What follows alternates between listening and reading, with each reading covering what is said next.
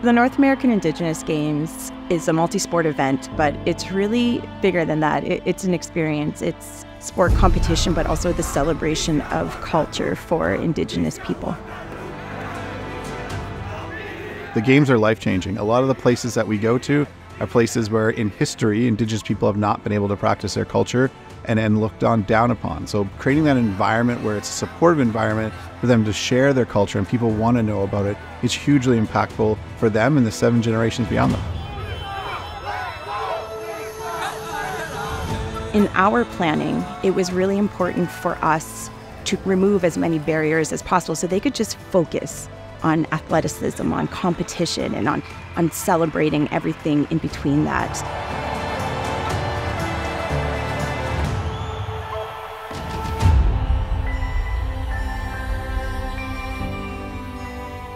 The games mean a lot to me because I was able to participate in many different ways, first as an athlete and then as a mission staff and now as the host society. And for me, the games were able to allow me to celebrate being an Indigenous person, being an Indigenous woman. It taught me to, to celebrate who I am.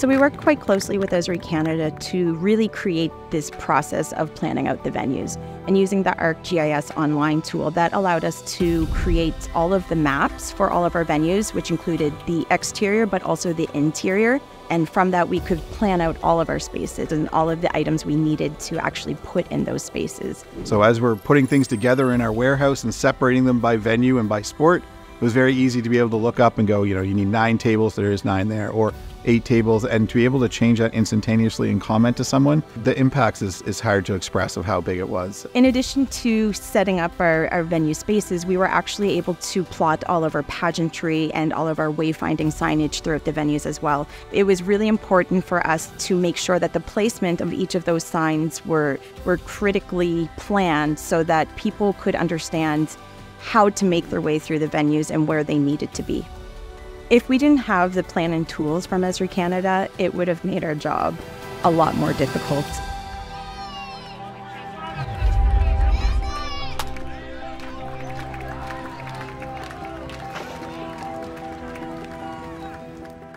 So the fact that the apps that we partnered with Esri Canada on were able to create efficiencies for us in planning our spaces, it really allowed us to focus on the details that mattered for the athletes, to create those experiences for them, and to create those safe spaces for them as well.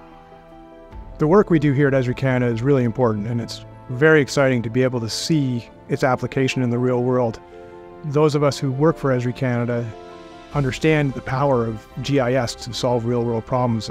The really exciting piece is enabling other people to see the power of the GIS and location intelligence to see the bigger picture that maybe people haven't seen uh, or can't see through looking at spreadsheets or, or Word documents. As an Indigenous person, to be in a city where you're usually the minority, but you look around and there's 5,000 other people that look like you, that sound like you, that have similar experiences to you, it's really a truly empowering feeling to be able to bring those games to Kjipuktuk, to Halifax, to Mi'kma'ki, we're hoping that we're able to share that with the 5,000 Indigenous participants that came here. But not only that, we're hoping to extend beyond that and to share that with all of the people who were able to attend the games, Indigenous or non Indigenous. I think whether you're Indigenous or non Indigenous, there's a lot you can learn from these games. And it, it's a good way to connect people. As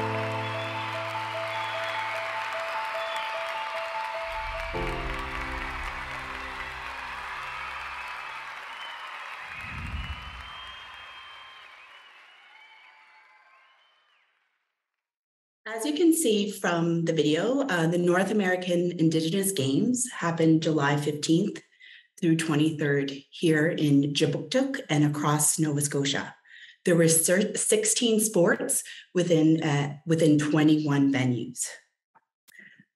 How did we help here at Esri Canada? In the summer of 2022, Esri Canada entered into a sponsorship agreement with the North American Indigenous Games. We started working with the venue planning team and learned what was required to manage all of the location inventory during the games. The staff needed a venue plan that could be shared across the organization and to members of the public volunteering at the games. They wanted to move away from paper based workflows to stand, a standardized way of visualizing inventory locations, signage, and pageantry for the venues. The list of items at each location was extensive. It included chairs, it included tables, laptops, radios, water stations, tents, pens, paper, and the list goes on. The locations included both interior and exterior spaces. A map showing the different floor plans was required. Our partner at East Point Engineering was able to help provide those important details and floor plans. Who was the audience that these were these applications were created for? They were the North American Indigenous staff, the lead volunteers, and the venue volunteers. The North, it was the duty of the North American Indigenous staff to map every single point um, for the venue map and provide details as to what items was required at each of those inventory locations. The lead volunteers then took that information when they entered into the interior spaces and started to update those data points.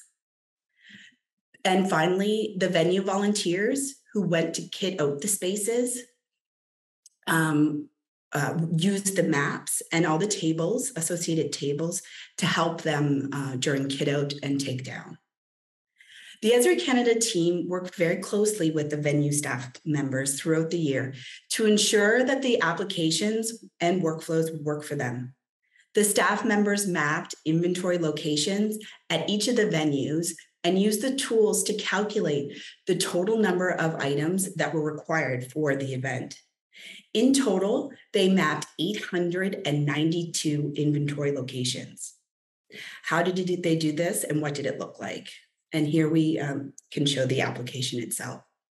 The applic- they use the application in the office to plan each venue by first zooming into the location of interest and then selecting um, the from the inventory list the, the, the, type of inventory they were they were to map.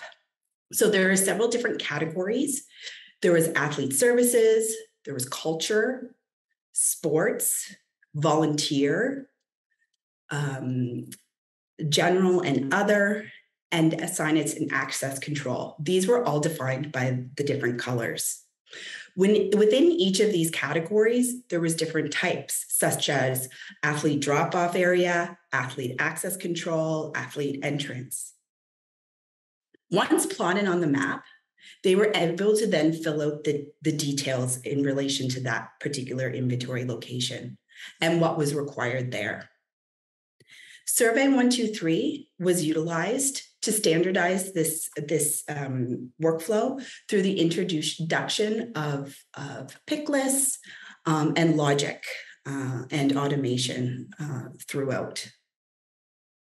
Months leading up to the games, the, the inventory staff actually started to train those lead volunteers in how to update the, the uh, inventory locations. Lead volunteers were assigned to update interior spaces with the number of tables and the number of chairs. So if we browse to the RBC Center, we can see that the map now becomes a floor aware map where we can select between level one and level two. As we select each level, the inventory locations update. The, the volunteers came into the system, they selected an area, and they updated they updated the point with the quantity of tables and the quantity of chairs. The final week leading up to the games, these the inventory maps were used to place all of these items at the various locations. That we also use tables generated within the application where we could see here it's searched based on uh, venue location, being the RBC Center. We can see all of our, our location inventories along with all of the items that are required at each location, such as table quantities, size, tent quantities, size, coolers, and everything required there. To conclude, I just wanted to, to provide an overview of the inventory items that were uh, collected. The following dashboard illustrates just a subset of the types of items that were collected, the number of chairs. So in 892 uh, inventory locations, there were 672 chairs. There was 158 tents and 156 um, tables. In some areas, that data collected was even more granular. For example, this shows the total number of tents, but the size of the tents was also recorded, along with the type of floor, if walls would be present, and the type of fixtures required. This granularity was essential for, uh, for sourcing the required items for each of the venue locations.